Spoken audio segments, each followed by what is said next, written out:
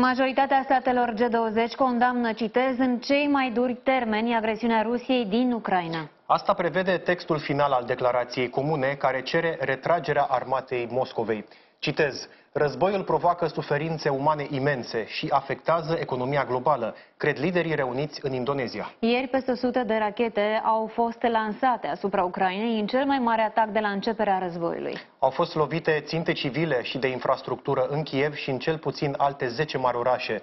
Jumătate din capitala ucraineană a fost lăsată fără curent electric, iar potrivit presei, în oraș era în acel moment șeful CIA, care avea o întâlnire cu Volodymyr Zelensky.